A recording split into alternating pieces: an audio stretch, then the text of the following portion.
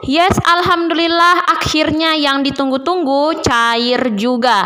Besok di tanggal 19 Oktober 2024, bantuan ini cair lewat PT Pos Indonesia. Meskipun hari weekend, bantuan ini tetap dicairkan.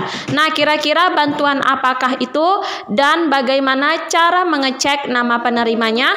Nah, maka dari itu teman-teman semua silahkan kalian bergabung di channel Nitas TV dengan cara klik tombol subscribe dan aktifkan tombol loncengnya dan jangan lupa juga teman-teman share ke yang lainnya untuk memberikan informasi penting ini ke teman-teman yang lainnya ya.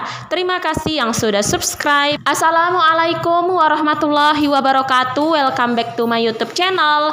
Apa kabar teman-teman semua? Semoga kita semua dalam keadaan sehat walafiat dan selalu dimurahkan rezekinya ya. Amin. Nah, teman-teman semua di video kali ini aku bakal informasikan terkait dengan kabar gembira untuk seluruh para penerima bansos yang khususnya cair lewat PT Pos Indonesia. Karena mulai besok di tanggal 19 Oktober 2024, bantuan ini telah dicairkan di beberapa daerah.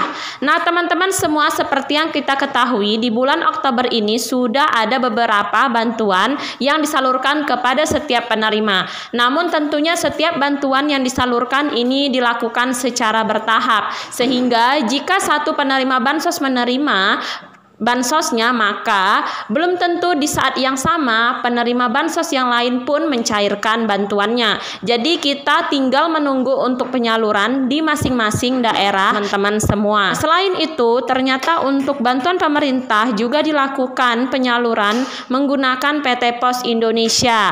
Ada beberapa bantuan yang dicairkan lewat PT Pos Indonesia, yaitu bantuan program keluarga harapan, bantuan BPNT, bantuan beras 10 kg dan bantuan telur plus daging ayam.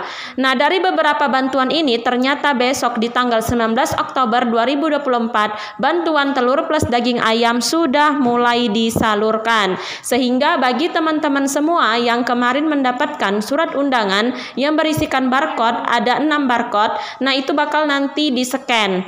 Nah, meskipun nanti surat undangan yang teman-teman terima berisikan 6 barcode yang tertulis dari bulan Januari hingga Juni, ternyata di bulan Oktober ini ada juga penyalurannya. Bagi teman-teman semua yang terlambat mengambil bantuannya atau bagi teman-teman semua yang memang baru mendapatkan surat undangan dari PT Pos Indonesia.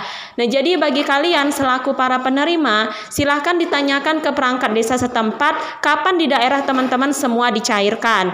Nah, di wilayah admin ini besok dicairkan teman-teman lewat PT Pos Indonesia meskipun hari weekend. Jadi para penerima bansos telur plus daging ayam cukup membawa surat undangan dan juga KTP serta kakaknya untuk mengambil bansos telur plus daging ayam.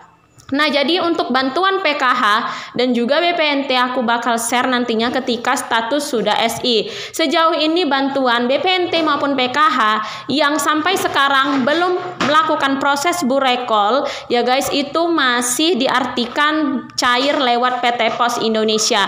Karena khususnya di wilayah admin pun untuk bantuan PKH maupun BPNT yang sebelumnya cair lewat PT Pos, di periode ini juga cair lewat PT Pos karena tidak ada tulisan proses burekol pada 6NG para KPM. Maka dari itu teman-teman tunggu aja untuk pencairan dari bantuan ini sendiri. Seperti biasa bantuan PKH maupun BPNT disalurkan 3 bulan dalam sekali pencairan. Namun hanya saja pada periode Juli, Agustus, September ada beberapa KPM yang harus wajib membuka rekening kolektif dan dialihkan ke KKS. Itu yang membuat bantuan ini terkendala cairnya.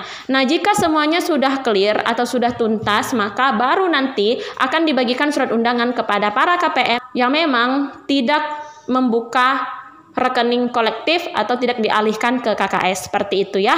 Nah, jadi semoga ini bermanfaat. Assalamualaikum warahmatullahi wabarakatuh.